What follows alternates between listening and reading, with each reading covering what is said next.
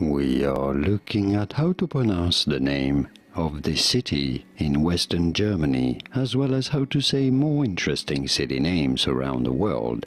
How do you go about pronouncing this one?